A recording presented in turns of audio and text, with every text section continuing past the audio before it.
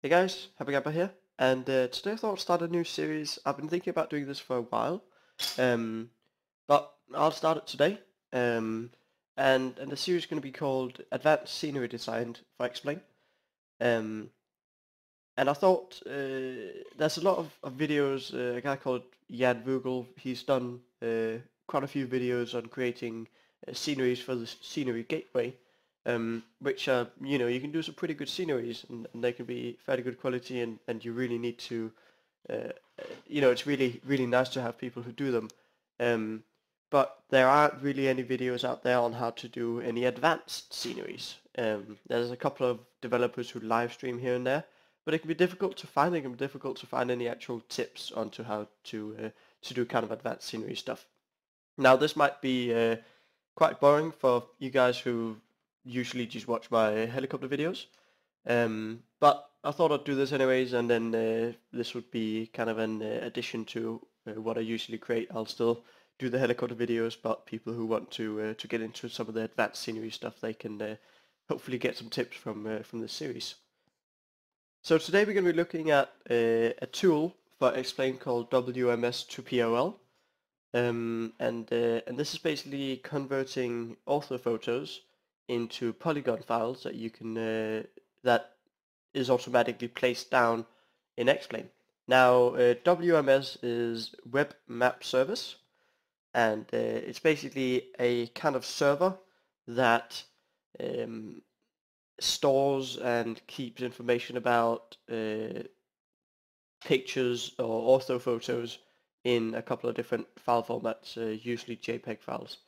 Um, now, uh, I haven't messed too much about with finding my own servers uh, to use, uh, but when you get the, the tool, you'll get the uh, wms2pol.py, lpy, which is a Python file, and then the INI file. Now, when you open the oh, sorry, when you open the INI file, um, let's just get the right one.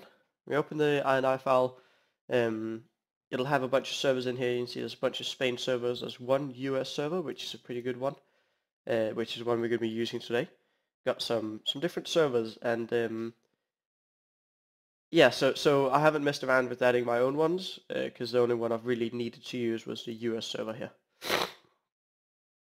It can also be really difficult to uh, to find your own servers, so it's it's I've I've looked a bit to see if there were any better ones for the US, but I haven't wasn't able to find any, so uh, kind of gave up on that.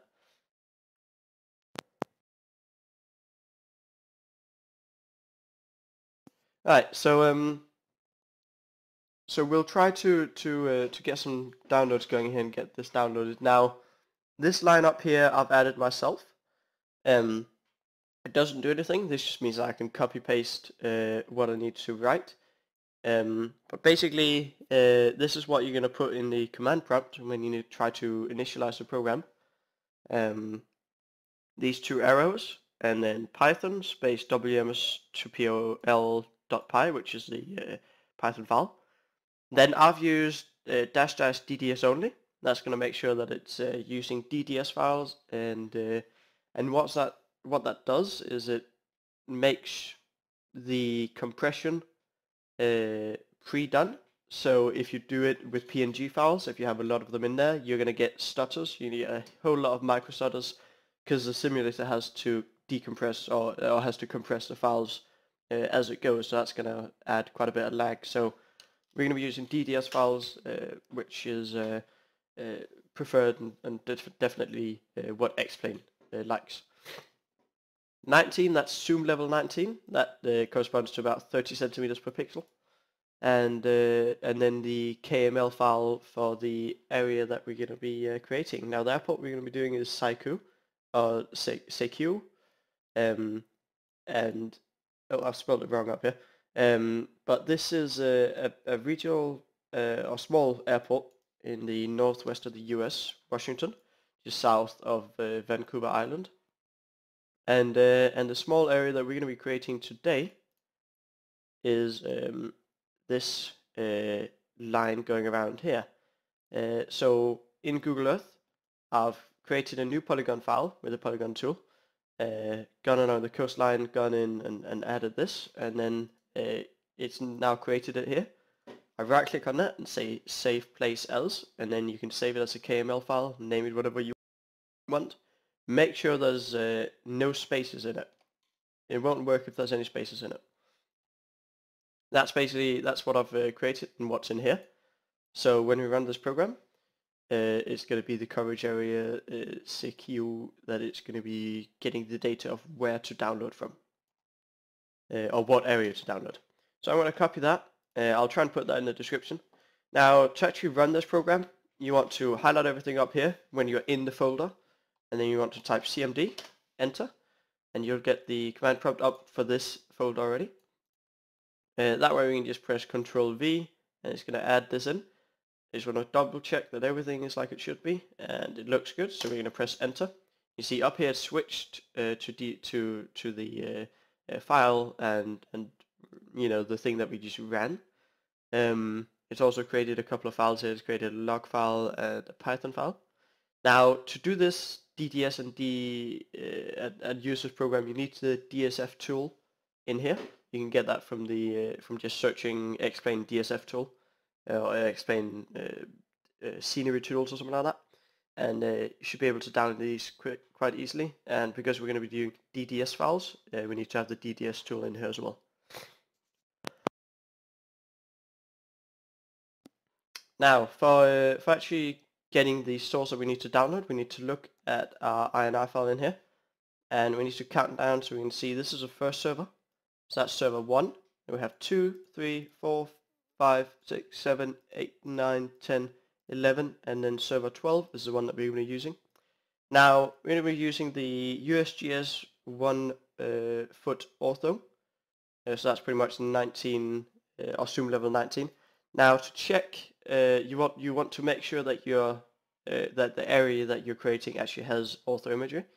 So for that, you can go on uh, this website, uh, link it in the description, and you can see the entire US here uh, and where it has ortho photos. Uh. so you can see it's not the entire of the US, it's only a little bit of Alaska, and it's mostly the east coast and then along the borders. But um, if we zoom in exactly where our uh, airport is, which is up here, Sekiu, and then we can uh, enable it again, and uh, we should be able to see that the orthophotos for this area is uh, quite good quality. Uh, it's fairly good uh, color correction. it's not need to do any kind of post-processing by the looks of things. Now there are some really not so great areas where uh, orthophotos can look really bad. Um, a good example of that is in Wisconsin, I know.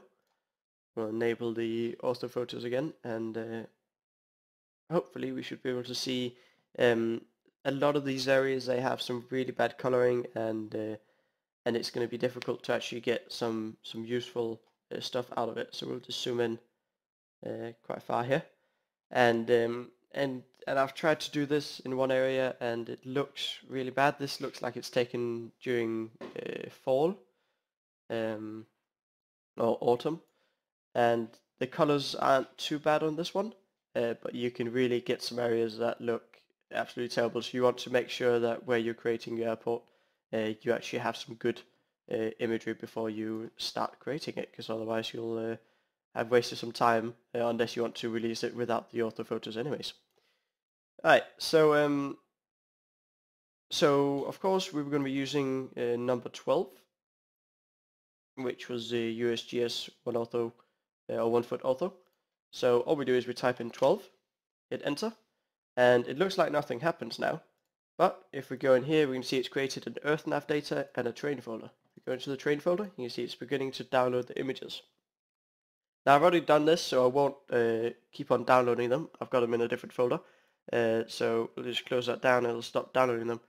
Um, but this is a, this is a really good uh, way to get um, some some good uh, photos into your scenery. Now the thing about this USGS one foot ortho is that you can use this however you want. So you can release payware um, sceneries and have this created, and you don't have to get any license or anything like that. Um, so that's that's kind of why this is uh, one of the most used uh, um, providers for uh, payware scenery. Alright, well I'm going to jump into World Editor and I'm going to show you guys how to uh, how to get these ortho photos showing up in uh, World Editor.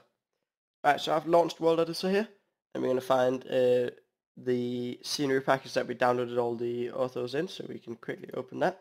You see in here we got uh, all of the files in the terrain.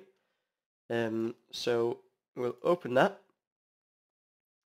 uh, and we'll try and zoom in generally on where the airport's going to be. It's going to be around here somewhere. Um, and then what we're going to do is we're going to come up to File, and we're going to go uh, Import DSF. We're then going to go and find the uh, airport that we're creating. We go to EarthNav data and the coordinates, and then to get that DSF file and import it. Now this is going to take a bit of time, but when it imports, we'll be able to see the ortho photos, so I'll be back when it's loaded that up. Alright, looks like all the ortho photos have uh, been loaded in. That took about four minutes, I'd say.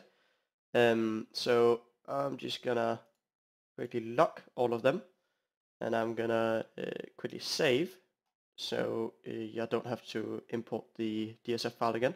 And we can see now we have all the ortho photos in here like they should be. This is pretty cool. We can now find the airport. You see the airport here. Looks like they've got some new tarmac uh, being made on these photos. And uh, we've also got the prison here, where there's a helipad that's going to be modelled in the scenery. So we'll uh, we'll come back to that. And uh, yeah, so I hope this uh, video has uh, helped you guys to get some ortho photos in your scenery pack. And hopefully we'll see some awesome sceneries with that. Um, if you have any questions, please let me know in the comments. I'm happy to help anyone out. And if you have any kind of more advanced questions, always ask on the Scenery Pack um, uh, forums. I'll also leave that down below. There's a lot of really nice people on there that are happy to help out and uh, you can ask even payware developers and they'll uh, usually ask or answer uh, most questions that you have. So um, until the next video guys, take care.